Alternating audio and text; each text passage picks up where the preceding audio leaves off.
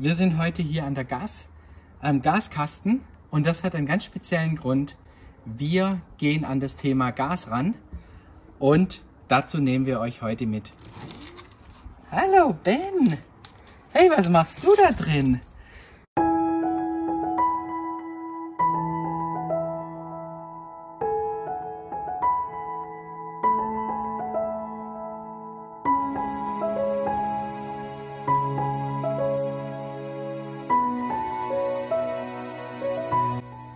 Hallo und herzlich willkommen bei Rocky on Tour. Mein Name ist Daniel und heute geht es wieder mal um ein Projekt, das ich hier in unserem Wohnmobil im Euramobil verwirklichen möchte. Ähm, also alle, die gerne mit uns auf Tour sind, äh, ihr dürft gerne in einen der anderen Videos wieder mal reinschauen. Heute geht es ein bisschen um einen kleinen Umbau und zwar es geht heute um die Gasanlage.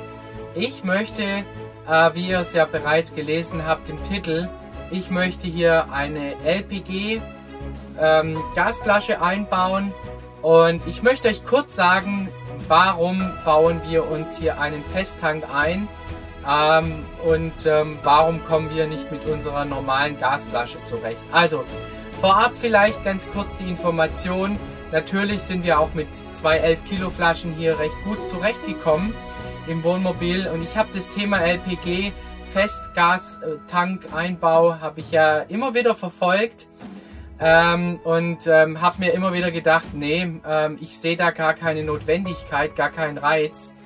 Aber ich habe mir ganz viele Gedanken gemacht und ähm, letzten Endes hat es mich dazu bewegt, die Entscheidung zu treffen, auch in dieses Wohnmobil einen Fest, äh, Festtank einzubauen. Das heißt, wir lassen eine 11 Kilo Gasflasche drinnen und bauen eine Festgasflasche ein. Ich habe die hier, die ist aber etwas schwer. Ich ähm, zeige sie euch nachher nochmal im Detail. Ähm, ja, warum?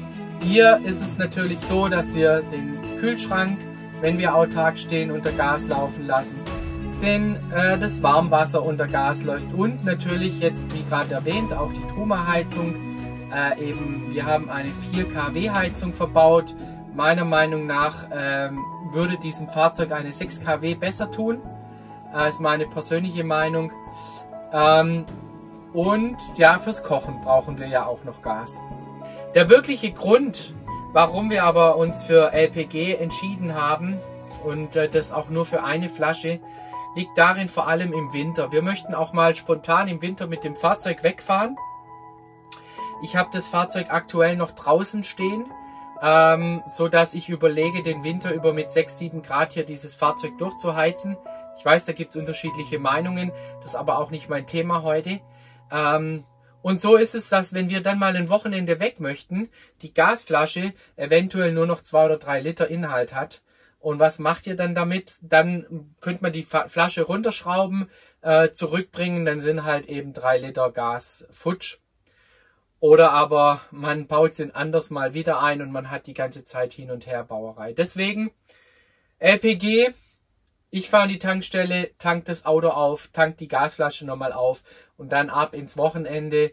Und ähm, Sylvie mag es wirklich warm hier im Wohnmobil und dann braucht man sich auch keine Gedanken machen. Sonntag, wenn man zurückkommt, an die Tankstelle, Gastank volllaufen lassen und das Fahrzeug abstellen und dann kann man auch wieder durchheizen mit 6, 7 Grad. So, das war wirklich der Ausschlag. Und natürlich hat es äh, viele andere Vorteile. Äh, wenn wir im Ausland sind, brauchen wir uns nicht mehr über Gas so viel Gedanken machen, weil wir einfach auch im Ausland sehr gut die äh, ähm, über LPG die Flasche füllen können und so weiter. Das hat natürlich noch andere Vorteile. Das war aber so der wirkliche Ausschlag, äh, der mich dazu gebracht hat, hier doch eins, äh, das einzubauen. Äh, ich bin kein Gasfachmann, aber ich habe mich erkundigt beim TÜV. Im Moment ist ja auch die Gasprüfung bis zwei, 2023 ausgesetzt. Äh, trotzdem werde ich das so machen. Ich möchte es wirklich gut einbauen. Ich mach, möchte es fachmännisch einbauen. Ich habe beim TÜV angerufen, habe mir Infos geben lassen. Ich habe mit dem Caravan-Händler gesprochen. Und wenn dieser Einbau fertig ist, fahre ich zu diesem Caravan-Händler, lasst es hier die Gasprüfung machen, lasst das alles abnehmen, lasst es mir auch bescheinigen im gelben, im gelben Heft. Und so dass, wenn wieder eine Gasprüfung äh, angesetzt wird, dann möchte ich auch alles wirklich hier abgenommen haben. Und von dem her passt es. Was braucht ihr dafür? dafür? Eigentlich nicht viel. Ich habe mich lange jetzt mit dem Thema befasst. Ihr braucht einen flexiblen Füllschlauch. Äh, einmal gewinkelt 90 Grad, wo er an die Gasflasche kommt und einmal, wo er dann an den äh, Fülltankstutzen kommt. Den braucht ihr dann auch eben. dass ihr, dieser Füllschlauch hat 50 Zentimeter.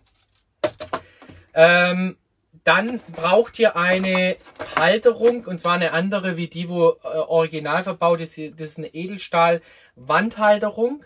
Und da möchte ich euch einfach sagen, äh, schaut nochmal ganz genau, die muss fachmännisch eingebaut sein, die muss so eingebaut sein, dass die bestimmte Kräfte bei einem Auffahrunfall oder bei einem Unfall aushalten kann.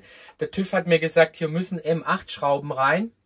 Ähm, und äh, das Ganze ist ja, wie gesagt, mit so äh, festen Sogurten wird es befestigt. Also da könnt ihr nicht mehr diese Kunststoff-Sogurte ähm, nehmen, die ihr jetzt an eurem äh, normalen Tank ver, ver, verbaut habt. Und ich möchte die Gasflasche, die zeige ich euch gleich nochmal, die ist ja etwas schwerer. Ähm, die möchte ich auch unten in den Boden nochmal ähm, verschrauben. Wie gesagt, es müssen gewisse Zugkräfte äh, müssen eingehalten werden. Und zwar in die Längs- und in die Querrichtung, dass wenn das Fahrzeug einen Unfall hat, dass dieser Gastank da fest bleibt. Also da könnt ihr euch wirklich nochmal erkundigen. Wie gesagt, der TÜV hat mir ganz klar gesagt, verschraubt mindestens mit M8 Schrauben äh, massiv verschraubt, so dass das auch wirklich diese Kräfte äh, äh, einhält. Was habe ich dann noch? Ich habe dann hier noch so eine Adaptertasche. Äh, natürlich für die Füllstutzen in jedem Land braucht man andere Stutzen. Die werden ja dann hier auf diesem äh, Befüllungsanschluss ähm, ähm, ja, werden die draufgeschraubt, sodass man dann auch den Gasanschluss zur Befüllung hat. Und dann braucht ihr für die Gasflasche Natürlich noch irgendein Messgerät, wenn ihr wissen wollt, wie viel Gas da noch drin ist. Da gibt es ja die einfachen Messmethoden. Hier oben sind ja meistens schon an den Gasflaschen welche angeschraubt. Ähm, ich habe von Comworks ja bei uns auch das Frischwasser in einer App drinne, wo ich mir anzeigen lassen kann auf Prozent genau, wie viel Frischwasser wir haben. Die Firma Comworks bietet auch so einen Gascheck an und äh, deswegen baue ich mir von Comworks diesen Gascheck ein. Zur Flasche selber. Warum habe ich mich für eine Stahlflasche entschieden?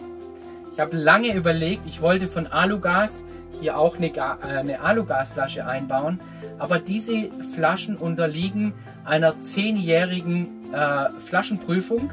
Das heißt, nach zehn Jahren müsst ihr diese Flasche ausbauen, einschicken, prüfen lassen, neues äh, neues Label holen, eine äh, neue Abnahme für die nächsten zehn Jahre. Was ist in zehn Jahren? Ja, es ist eine lange Zeit. Aber wenn ich das Fahrzeug vielleicht bis dahin noch habe oder was auch immer, habe ich wieder einen Punkt mehr, woran ich denken muss, nämlich dass ich das prüfen lasse. Und deswegen wollte ich das nicht tun. Wir haben kein Gewichtsproblem mit dem Fahrzeug. Deswegen habe ich mich für diese Chemco Flasche äh, entschieden. Die habe ich bei Fosk, Fosken, heißt dieser Versand. Genau, das ist Fosken. Ähm, die ähm, haben im Bereich Gas alles Mögliche. Ähm, kann ich euch unten auch nochmal verlinken, könnt ihr reinschauen. Ähm, und der Vorteil dieser Gasflasche ist, die hat einen, ein Volumen von 30 Liter. Ähm, hat bei 80% eine Abschaltung drin, sodass wir 24 Liter auf jeden Fall befüllen können. Und äh, die normale Alugas, die für die 11 Kilo Flasche hier reingekommen wäre, hat eine Befüllung von 21,6 Liter. Also hier haben wir nochmal 2,4 Liter mehr Inhalt.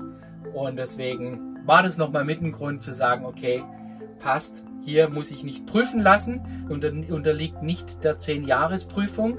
Somit kann ich sie hier fest für immer verbaut lassen, ohne dran denken zu müssen, dass hier die Flasche nochmal geprüft werden muss. So, das waren die Gründe. Ähm, jetzt geht es an den Einbau und da nehme ich euch natürlich mal wieder mit dazu, wie ich das hier in diesem Fahrzeug gelöst habe. Und äh, seid gespannt, wenn es euch gefällt. Jetzt sage ich jetzt vorab schon mal, lasst ein Abo da unterstützt unseren Kanal, äh, schaut euch die anderen Videos an, die wir machen und äh, lasst ein Like für dieses Video da, wenn es euch gefallen hat. So, hier seht ihr nochmal die Camco Flasche und hier dieses Multiventil, das ich euch zeigen wollte. Hier eben dieser Gasanschluss von außen zur Befüllung und hier die Entnahme fürs Fahrzeug. Und hier ist ja diese Messeinheit, die auf Magnet reagiert irgendwie. Da ist ein Stab drinne. Ähm, also die kann man auch im befüllten Zustand aufschrauben. Und da kommt jetzt äh, von Supersense, also von Comworks, äh, das Messteil rein. Und was ich euch eben an dieser Flasche zeigen wollte, hier kann ich den Kragen auch abschrauben noch. Dann habe ich, ähm, dann habe ich eben eine andere Füll, also eine andere Höhe zum Verbauen und mehr Platz eben oben. Und äh, das Tolle ist, ich lege sie mal so hin. Und das Tolle an der Flasche ist, dass ich eben hier diese drei Beine dazu nutzen kann, zumindest ein oder zwei davon, um diese in den Boden zu verschrauben mit den mitgelieferten Schrauben. Und äh, so wird es eine runde Sache. So, ich habe jetzt vor, hier die linke Flasche dabei zu behalten. Also das bleibt die normale Flasche und ich baue nur hier rechts eine feste Tankflasche ein. Ähm, dazu jetzt wie gesagt erstmal die alte Halterung rausschrauben. Und dann muss ich mir selber mal hier die ähm, Einbausituation anschauen. Ach so, noch eine Info. Vielleicht wundert ihr euch, warum ich hier so einen schwarzen Boden drinne habe. Ich fand das einfach nicht optimal hier, diesen Kunststoffboden. Man sieht ja hier schon, wie die Gasflasche hier drinne reibt während der Fahrt. Und ich habe mir jetzt hier so ein 0,6 Anti-Dämm oder Anti-Rutschmatte gekauft. So, und äh, ich glaube, das ist eine andere Sache. Dann wird das hier ein bisschen gefedert und auch jetzt bei den drei Füßen von der Chemco-Flasche liegt die hier etwas anders auf und reibt dann nicht direkt gegen dieses GFK-Material.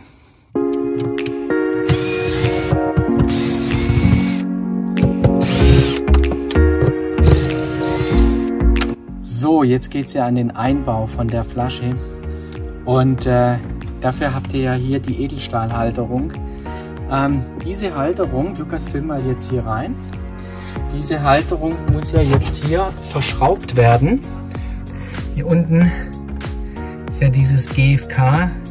Circa steht ja ein Zentimeter auf. Das heißt, diese Halterung würde nach hinten wegkippen. Und hier hat man einfach nur ein Brett unterfüttert. Und vielen Dank an dieser Stelle, Gerd, für diese Information. Du warst sofort zur Stelle, als ich nicht mal weiter wusste hier. Hast mir den Tipp gegeben, hier zu unterfüttern mit so einem Brett, ähm, ein Holzstück, das ich mir zugesägt habe. Und jetzt ist es schön hinterfüttert. Und vielleicht eine Information noch. Ihr könnt die Halterung einmal so verwenden. Man sieht es jetzt vielleicht auf dem Video nicht. Oder so rum. So rum passt die nicht, weil da würdet ihr zu tief, da würdet ihr zu tief kommen und äh, ihr müsstet hier in das GFK reinbauen. Deswegen einmal umdrehen und ja, dann passt die Sache. Dann könnt ihr nämlich das Ganze nach oben schieben und äh, entsprechend ins Holz reinschrauben. So, eine Information zur Verschraubung. Ähm, ich habe mir ja hier die Bohrlöcher angezeichnet. Ich hatte jetzt zwei Positionen angezeichnet. Äh, ich setze sie weiter runter, die Halterung. Wenn ihr hier unten bohrt, dann bohrt ihr auf jeden Fall in den Zwischenboden rein. So, und das heißt, wenn ihr jetzt äh, Gewindeschrauben nehmt, die ihr von hinten dann verschrauben müsst, kommt ihr ganz klar in den Zwischenboden rein und ihr habt ein Problem, ihr könnt ihn nicht verschrauben. Was habe ich getan? Ich habe mir hier solche Hohlraumdübel oder Hohlraumschrauben gekauft. 8x37 M8er. Mir hat ja der TÜV gesagt, ich soll hier M8er Schrauben reindrehen. Jetzt hätte ich die Möglichkeit gehabt, hier Holzschrauben reinzudrehen. Aber ähm, sicher ist sicher natürlich mit Gewindeschrauben. Ich weiß nicht, ob er das moniert hätte. Deswegen bin ich auf Gewindeverschraubung gegangen. Und weil ich das nicht kontern kann, hier oben, wenn ich da reinbohre nachher, Da komme ich auf der anderen Seite raus äh, von dem Staufach unterhalb der Küche. Da kann ich das dann zuschrauben. Aber wie gesagt, hier unten habe ich dann einfach solche Rigipsschrauben oder ja, so Hohlraumschrauben genommen. Und dann kann ich das hier nachher schön verschrauben, die Halterung. Genau. So, alle vier Löcher sind gebohrt. Wie gesagt, hier habe ich diese Hohlraumschrauben genommen. Und hier oben habe ich durchgebohrt. Da konnte ich dann gegen die andere Seite. Was ich jetzt mache, ist, ich hole mir jetzt Silikon, dichte das hier nochmal ab, bevor ich hier die Schrauben reinmache. Ähm, dann sollte das auch dicht sein, vor allem aber auch die alte Verschraubung noch. Ähm, werde ich auch noch mit ausspritzen und ja, dann dürfte da auch, falls Gas ausströmt, nichts in den Innenraum gelangen.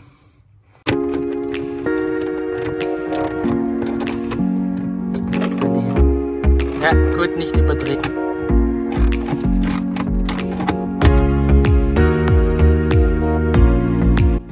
So, und von dieser äh, Seite zeige ich euch jetzt auch mal die zwei Verschraubungen, die jetzt hier gegen diesen Kasten verschraubt sind. Also das sieht jetzt auch ganz gut aus und ist natürlich fest, wie es sein soll. So, also die Flasche ist jetzt mal ganz grob hier drin. Hier unten habe ich auch noch ein Loch gebohrt. Das kommt dann hier raus. Genau, da ist die Schraube. Also somit ist die Flasche hier unten auch nochmal fixiert und jetzt kriegt sie ja hier noch die beiden Schellen. Ähm, den Befüllstutzen, der hier, den will ich ja hier an diesen Winkel dran machen und den möchte ich gerne hier mit an die Halterung rein, dran schrauben. Da die aber, wie ihr seht, hier nicht dran geht, habe ich mir hier auch schon mal zwei Striche hier markiert und flexe jetzt diesen Teil hier weg. Ja, und diese Bohrung muss ich etwas aufbauen, weil das ist glaube ich nur eine 6er, eine 6er, Schrau ähm, 6er Bohrung und das sind 8er M8er Schrauben. Ähm, genau, und da gehe ich jetzt in meine Werkstatt, flex es zurecht und melde mich dann wieder, wenn das fertig ist. So, bevor ich die Flasche jetzt mit den Gasschläuchen verbinde, zeige ich euch jetzt hier einfach nochmal die Verbindung. Also, hier hinten rein. Und ähm, hier unten ist dieser Füllhahn, ähm, der, der Füllanschluss hier vorne praktisch mit der Schelle verbunden. Dieses Blech habe ich ja zugeflext und habe das dann noch hier auf etwa auf, das, auf den Winkel, dass es wieder gerade ist, hingebogen. Ja, und ich glaube, das ist ganz gut geworden. Und hier unten ist ja die eine Schraube noch, wo die Gasflasche hält. Also die sitzt bombenfest, die Gasflasche. Da wackelt gar nichts mehr. So, jetzt mache ich noch die beiden Schläuche hin. Einmal den Füllschlauch und dann oben hier den Schlauch und dann passt es eigentlich. Ich gehe hier über Kreuz, das heißt, ich fahre jetzt hier rein und mit dem hinteren fahre ich dann hier in die Gasflasche rein. Dann ist das, ja, dann ist das nicht so reingefriemelt, dann passt das hier eigentlich sauber. Ganz wichtig, was ich noch sagen wollte, ihr solltet auf jeden Fall Filter einbauen, wenn ihr vor allem auch mit äh, LPG-Gas fahrt, dann auf jeden Fall mit Filter. Das sind die von Troma, die ich hier noch mit eingebaut habe an die Duo Control. Direkt dran. So, also jetzt kommen die Gasschläuche, habe ich jetzt montiert. Hier den Ausgang zu Duo Control. Und über diesen Multiventil hinten 90 Grad gewinkelt dieser Einlassschlauch, dieser Füllschlauch der dann hier vorne an die an den Einfüllstützen geht, den ich ja wie gesagt hier an der Schelle befestigt habe. Und äh, so sieht es dann aus. Die linke Gasflasche ist ja die Aluflasche, die mache ich noch rein. Ähm, und hier jetzt die Elektronik. Die werde ich morgen dann verlegen. Da fahre ich dann, habe ich hier schon mir mal ein Loch gebohrt, da fahre ich dann hier hoch. Das schließe ich aber dann morgen an, damit wir den Gasstand sehen. Ja, ansonsten, es war eine ganz schöne Fummelei mit dem Verschrauben, mit der Halterung hinten. Wenn man das zum ersten Mal macht, ja, dann äh, muss man etwas rumprobieren, aber es hat ganz gut geklappt. So, und jetzt noch der Anschluss hier im Gaskasten. Also ich bin da hinten hochgefahren und habe jetzt hier auch genug Kabel gelassen, damit ich, wenn ich die Flasche mal ausbauen sollte, auch das nach vorne ziehen kann. Genau. Und so sieht es dann fertig aus.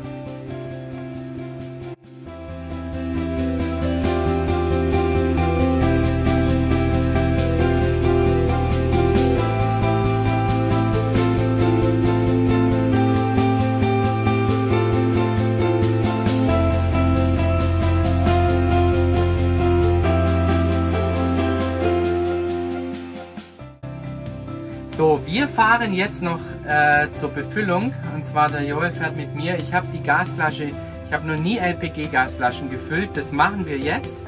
Mal schauen, ob ich es hinbekomme. Und ich hoffe, dass alles dicht ist. Sobald die Flasche voll ist, werde ich dann zur Dichtigkeitsprüfung fahren und alles eintragen lassen. Und ich sage an dieser Stelle schon einfach mal, ich hoffe, euch hat das Video gefallen. Unterstützt unseren Kanal wie immer. Gerne dürft ihr nachbauen. Wenn ihr Fragen habt, dürft ihr mich gerne fragen. Ansonsten äh, gute Zeit, viel Spaß, Abo und Like. Bis dann, macht's gut, ciao. So, dann probieren wir es mal. Also, Adapter habe ich schon drauf gemacht. dieser deutsche Adapter.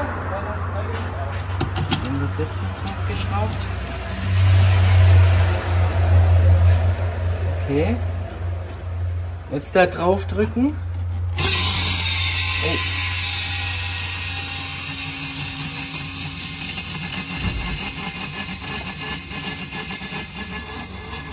So, jetzt kam aber noch nichts raus, gell?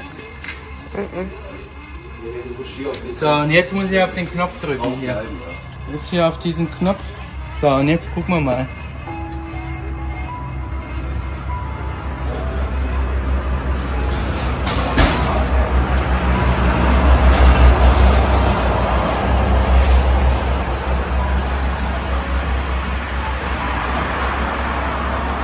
Theoretisch sind da 24 Liter rein.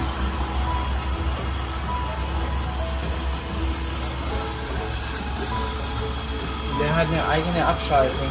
Bin mal gespannt.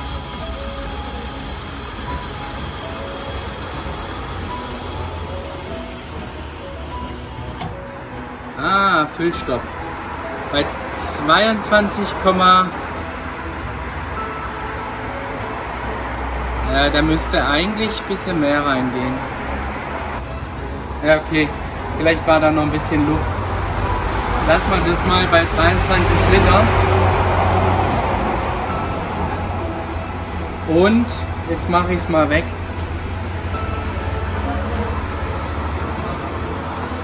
Bin ich gespannt, das knallt anscheinend.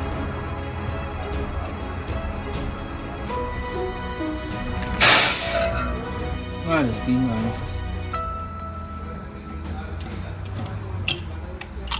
So.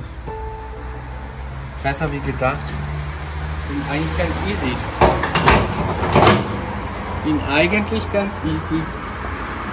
Also beim Befüllen immer den Hahn zumachen, dann wieder aufdrehen. Ja, und jetzt müsste schon Gas hier drin sein. Das probieren wir nachher mal, ob wir auch Gas drauf haben. Gut, dann kommt der Adapter wieder raus. Deckel zu. So, ich schaue jetzt mal, ob die Gasanlage funktioniert. Der Daniel hat sie ja eingebaut Jetzt überprüfen wir das mal, ob das auch richtig gemacht Jetzt kommt der große Moment. Und es funktioniert. Super, Wow, jetzt sind wir mit LPG unterwegs. voll gut.